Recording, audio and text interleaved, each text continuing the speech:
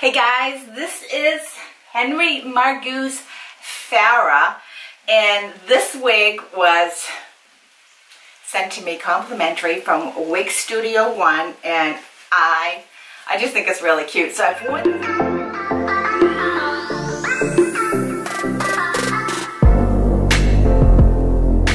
So I've worn this in a number of videos. You may or may not have seen it. But I really love this style. I have my I have my Balzano eyeglasses on right now. Shades. I really love it. So this wig is, Henry Margu I think makes really beautiful, beautiful wigs. This has a monofilament cap so you can have a very natural parting. It also has a really nice hairline or lace front I should say. Very, very natural looking lace front. The ear tabs are beautiful. The, I'm going to show you the back so you can see it. I hope it's not a mess because I have been bopping around the house in this. I absolutely love this. And, you know, I know some of you don't believe in wearing masks and some of you wear masks, but if you wear a mask or have to because of your work, your employment, then you know how important it is to be able to put a mask on because I do have to wear a mask when I go to work each day. It is a requirement. I don't I don't really have a choice. So I really love the fact that I can put a mask on with this wig and it looks fine. You know, it looks absolutely fine. It stays on, it looks good, it doesn't push the hair, it, it, it really, what I was really worried about was like, oh, if I wear a wig and you get the ear tabs, how is the mask going to stay? How is the mask going to fit? So I took my mask off and my lipstick is all smudgy. That's the drawback about wearing masks.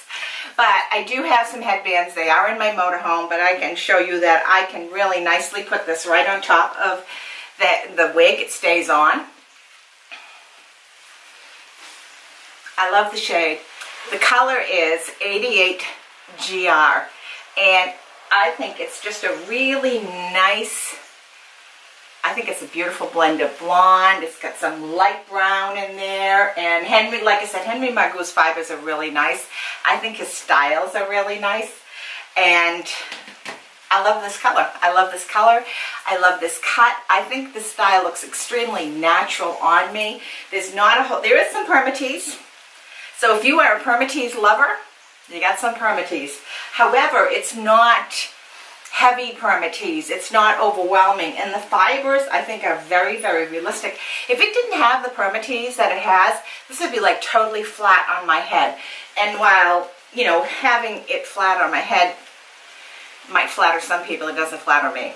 So I do like a little bit of permatease. I love how these layers are cut. I do. I love how these layers are cut. They kind of angle towards the front. I don't know if you're noticing that. Kind of angles towards the front. I just think it's really pretty. I do. I think it's really pretty. So this was sent to me, as I said earlier, complimentary from Wig Studio One. And I so appreciate the fact that they send me wigs on an occasion so that I can share the look with you. I have reviewed this for their channel, and I think you'll probably see that by the time you see this.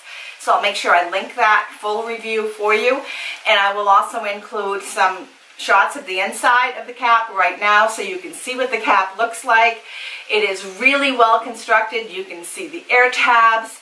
You can see the whole flow of the cap. I love the lace front. I do, I'm partial to Henry Margu fibers and wigs because I this will be the fourth one I own, I believe. The fourth one. I love Henry Margu's products. And then I'm going to show you a little bit of an outside shot here. I got caught in a little bit of a rainstorm but that's okay. I think you need to be able to see a wig. Here I am walking. You need to be able to see a wig and see how it flows outside as well as inside and also the different colors. So, Henry Margu's Farrah 88 GR. I love it. Thanks so much for watching Monika's Wig Gig. Until the next time, bye guys.